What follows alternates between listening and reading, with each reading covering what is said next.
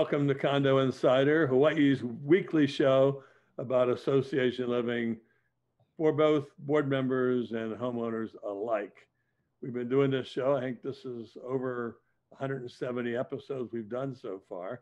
But I want to begin by wishing everybody a Mele Kalikimaka, happy holidays, and, and hope you're safe during these difficult COVID times. Today's show is by request of some of our viewers who emailed me and asked me to again review what associations can do regarding delinquencies. And we want to talk about that not only from the scope what the normal procedure is, but maybe with a little footnote about the COVID times we're now in. So I asked a really great lawyer who's a good friend of mine, Kapono Kiakona, to join me today and to uh, talk about uh, delinquencies. So welcome, Kapono, uh, and tell us a little bit about yourself. Oh, thank you, Richard. I've been uh, practicing for about 20 years now. Um, partner in Porter McGuire Kiakona. We focus mainly on managing and, and, and assisting condos and other community associations. We handle their delinquencies. We, we treat ourselves as a full service law firm for that aspect. Um, from governing documents to the smallest uh, delinquency that needs to be handled. That's what we cover. So when we talk about uh, delinquencies, that's something I, I cover quite a bit, and it's something that I think we're seeing not as many as I expected initially, but we're seeing quite a few more lately. Right? Well, it's interesting. Um, I went to a seminar, a national seminar with CAI, and uh, I'm going to repeat what they said, which I can only repeat what they said, is that they're saying before COVID, delinquencies in condos ran 9 to 10% throughout the industry. This is throughout the United States. This is not just Hawaii. And pre post COVID now, delinquencies are still running 9 to 10%. They haven't seen a major shift.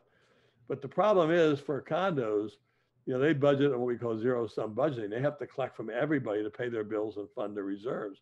So a 10% delinquency means something's not getting paid or reserves aren't being funded. So can you briefly just take us through, forget COVID and, and the challenges, kind of what the normal steps are that condos should be doing with regard to uh, collecting delinquencies?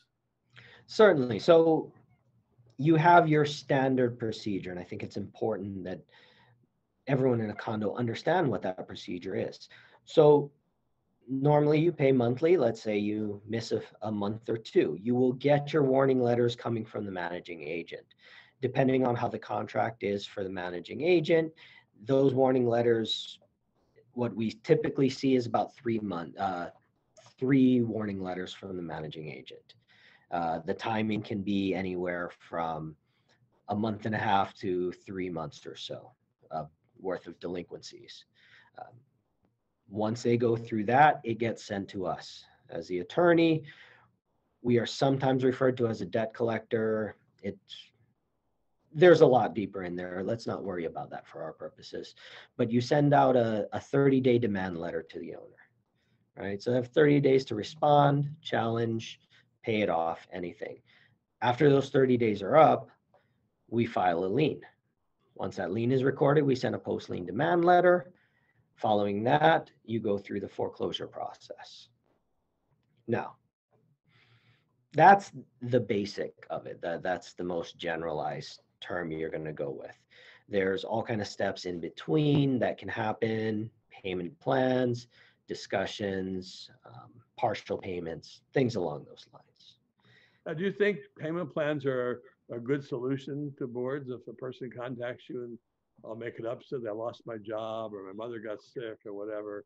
Um, um, and, and, if you are going to have a payment plan, there any kind of basic rules like uh, don't get further delinquent or whatever? Yeah, generally payment plans are a good idea, um, especially for boards. You want to, payment plans do the best job of balancing both the concerns of the association and the concerns of the owner. Um, you know, sometimes people get in a rough spot, they can't pay it, but the association needs to be paid. through your payment plans, I- you want to make sure that the association is continued to pay, to be paid throughout the process. So you want to say, okay, we'll give you a payment plan. We'll give you a 12 month payment plan. You can pay your delinquency off in 12 months. But during that time, you have to stay current with your monthly maintenance fees in addition to the 12 month payment plan. So let's say someone owes $1,200 and their monthly maintenance fees are $200. They're on a 12 month payment plan, very simple. They continue paying the $200 to the maintenance fee, then they pay the extra $100 a month to pay down that delinquency. Now, does the statute require the board to give a payment plan, or is that something strictly optional within the board?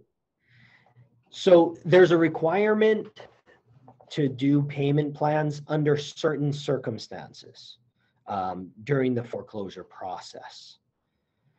Since that's a requirement, it's just good governance for the association to be willing to do it at any time. There's there's no harm and it's almost foolhardy to say, okay, well, we will go to this process so that you can trigger the payment plan. If someone wants to get on a payment plan early, we always recommend that the boards do it. So when you look at this, you know, whether it be a payment plan or just an owner who's paying maintenance fees, I know that in my time as a president of a condominium managing agent, we would find things that just go wrong that can delay the process forever. And uh, a good example would be in Maui. I had a case where uh, two people owned a unit, but they weren't married. They were just uh, joint tenants, I guess it's called. And uh, they were delinquent. And then the first person died without a will. And it stuck it in probate court. And Yeah, then we got through that. And then the second person died without a will. And so I, I want to say it took a couple, two, three years to resolve that. But uh, tell us, besides my example I gave you, what kind of things can go wrong that really disrupts the normal collection process, like bankruptcy and things like that? Can you give us some ideas what, what they might be? certainly, certainly. I, and to be fair, what you've described is essentially the worst case scenario. Probate is where all timely actions go to die. That's just no pun intended on that. Things will take forever. Um, bankruptcy is certainly one of those places. There's there's an interesting tick in the bankruptcy code which has caused some issues for condo associations. And the distinction has to be made between the type of bankruptcy that someone's filed. So the difference between a Chapter 7 and a Chapter 13 bankruptcy. Just briefly, Chapter 7 is essentially a forgiveness of debts. Chapter 13 is an extensive payment plan. Chapter 13 goes anywhere from three to five years long. With that being said, there's a trick within, and I don't want to say trick's probably the wrong term, but there's an issue with the language that's used in chapter 13 versus what's used in chapter 7. If someone files under chapter 7, they are continuous, they are still required to pay the maintenance fees following the filing of the bankruptcy. That's called post petition, right? Under chapter 13, there's recent case law that interpreted a certain section that doesn't exist under chapter 7 which treats the debt essentially like a mortgage meaning that the future costs are not allowed to be claimed against the own, the individual owner who filed for chapter 13 so what you end up doing is your right is just to foreclose. You don't have the right to go after that owner for any post petition delinquency. So that causes a, an issue because often people will use chapter 13 as a way to get back on their feet, but it doesn't help when the association's sole remedy is to foreclose on that. Um, it also affects associations when someone's using bankruptcy courts to delay. Um, we've had several instances where people are unscrupulous about the way they uh, file for bankruptcy and require extensive amounts of litigation to do it. And it, it's not something that's helpful, but it's something you have to face. Sometimes things go sideways and you have to deal with that. And then I don't know if you're aware about the new subchapter five of chapter eleven bankruptcy that just passed February twentieth, twenty twenty. And um, uh, I happen to be one of two people appointed in the state of Hawaii to be a subchapter five bankruptcy trustee. And it works, it adds another little quirk. I don't know exactly how it applies to condos yet, but uh, you as a sole provider and individual can file for subchapter five, chapter under chapter 11 reorganization, which is different than seven and 13 as far as how it operates. And uh, uh, the thing I do know, because uh, I've, I have a case I'm doing right now, is that the post petition rule does apply to that. They have to stay current with uh, Yeah. the post petition expenses. But um, uh, the problem is that whenever you get a filing, whether it be bankruptcy or probate, it slows down the process is what we're saying. It's going to be extra steps, extra cost uh, to try to p- secure your position. Yes. And it doesn't help anybody when there's extra costs involved. That's How about, how about in the old days? We used to talk about cutting off utilities and services and collecting rent on a tenant and investment property. Is that still active and alive? And Tho- those are still useful. The there hasn't been much change to that. What you're seeing though is there's less appreciation for the cutting off of utilities. Right? There's there's greater claims, and then that's not even getting into the allegation that you're harming people during the the pandemic. Right? In terms of the rent intercept, I'm a fan of rent intercept provided the person has a, a legitimate um, rental agent. Um, the, the, the hardest part of rent intercepts is it doesn't have the teeth it needs. Yeah, I remember that. I remember on the utility side, we used to always say, well, you don't want to be turning off the electricity and you don't know the guy's on a heart lung machine, for example. Uh, what we found was really effective, by the way, was turning off the TV cable. That that got the most attention out of anything. They couldn't watch their NFL football game or whatever it was. So uh, we kind of, uh, in our practice, we uh, tried to focus on the TV cable and not touch the other like water and, and electricity because uh, we thought there was too much liability to it. Absolutely. That's the safest move. No one can say I can't live with, well, they can say they can't live without their TV, but then it's just hyperbole. Yeah, that's true. Well, you know, we've kind of gone through the basics and we're, we're due for a break right now. So uh, what I wanted to say before we go on break is we talked about foreclosures and there's been some, some pre-court rulings. There's been some changes in that whole foreclosure idea, recognizing also there's a, a proclamation by the governor and all these different things. So what we're going to do is we're going to take a short one minute break. We're going to come back with my good friend Kapono Kiakona and we're going to talk about uh, the hammer, the foreclosure, and how that fits in today's world. So we'll be right back in one minute.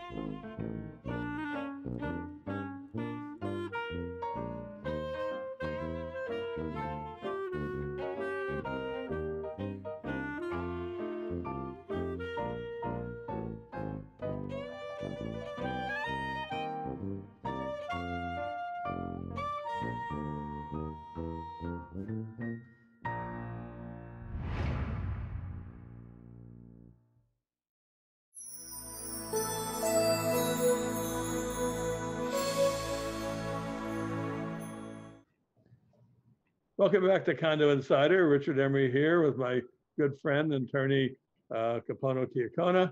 We're talking about foreclosures in the first half. We talked about the normal process where the managing agent sends some letters and then they send a demand letter and then they file a lien and they send a post lien letter and and, and that kind of goes through normal realizing that somewhere along the way people file bankruptcy and die and have probate court and things that can really slow it down. Uh, the key takeaway to me was if you have a delinquent owner, talk to them and try to get a payment plan where you preserve the fact they'll pay the current and that they will uh, pay the delinquency over a specified period of time. And that's probably cheaper, better, and faster for everybody if you can get people to agree to a payment plan.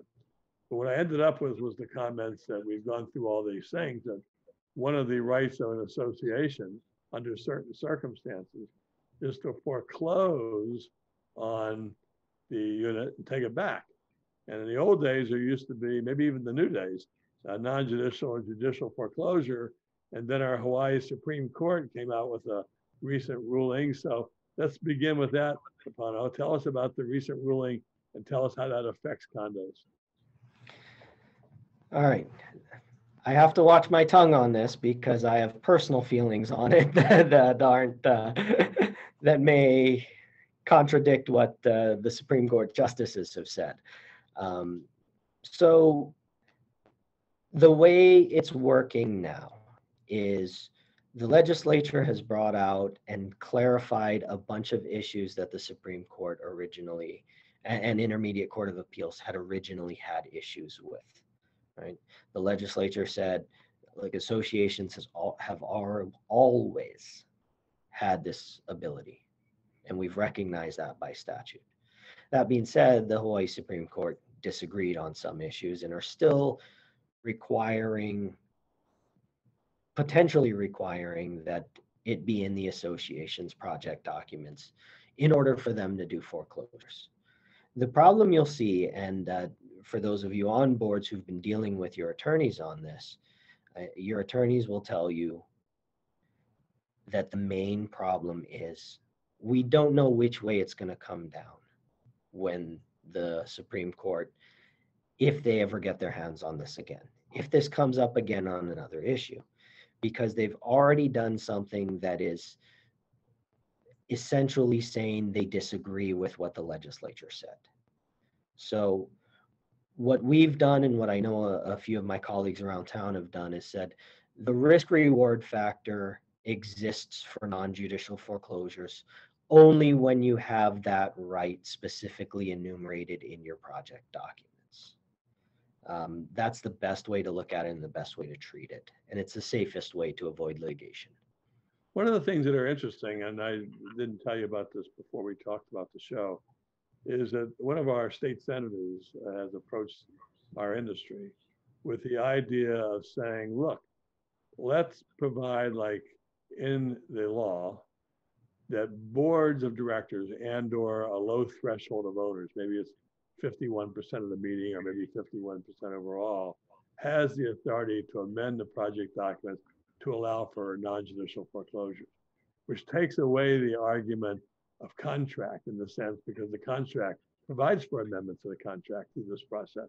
And so the state senator is in the process of drafting a bill to find an easy mechanism for associations to amend their project documents to allow non-judicial foreclosure by either a board being allowed to do it and or some low threshold of owners to do it.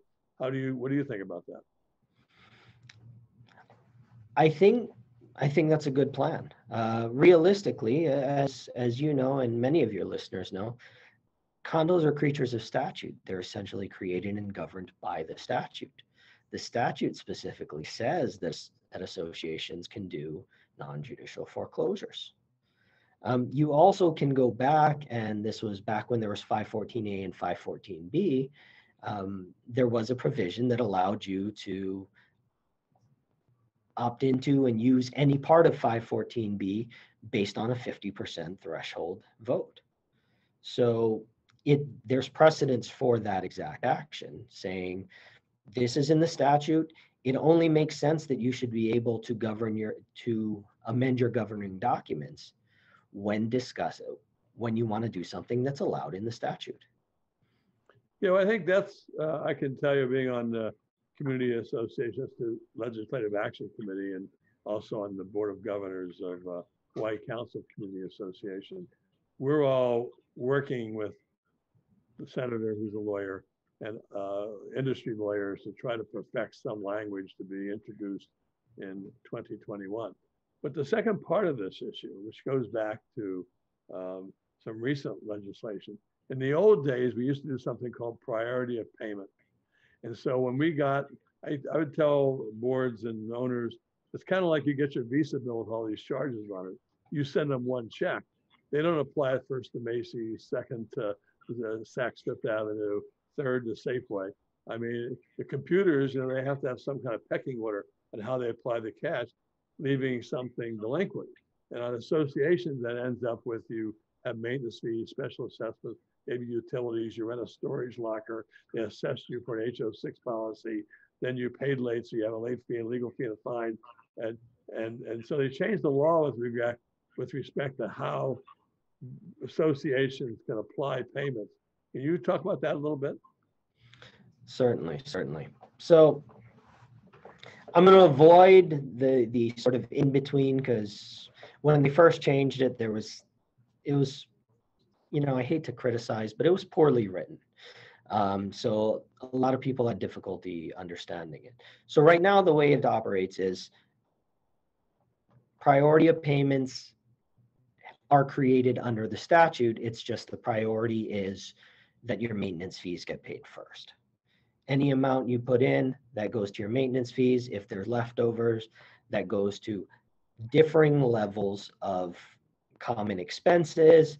And then ultimately it can cover individual expenses and then ultimately late fees, late interest, and attorney's fees, which is essentially backwards from the um, priority of payments as they used to be.